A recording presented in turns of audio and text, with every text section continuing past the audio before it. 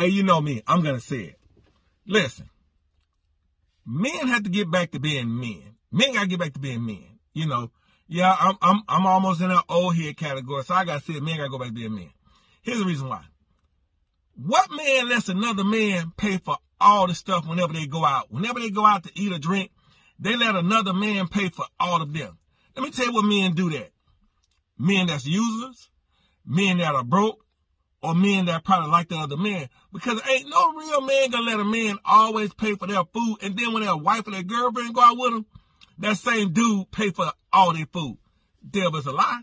You know, if you're gonna do that, fellas, you might as well go and put on a nice little mini skirt and some pumps, put some blush on your face, and be that dude date. Because you his woman. He's paying for you like you his woman. Because real men not gonna do that. When me and my friends go out and eat and drink, they pay one time, I pay the next time. No way do we let one person always pay for our food. Real men don't do that. If you're a real man, you're gonna be like, hold on, man, why did dude always trying to pay for my stuff? He saying, saying I'm broke or something like that? That's what a real man gonna think. But some of y'all not like that because y'all just want to use and I'm gonna save my money. Yeah, you save your money, but I'm sitting at the table going, he done been to a Diddy party. He done been to a Diddy party because he let a man pay for all his stuff. If you get mad, this apply to you.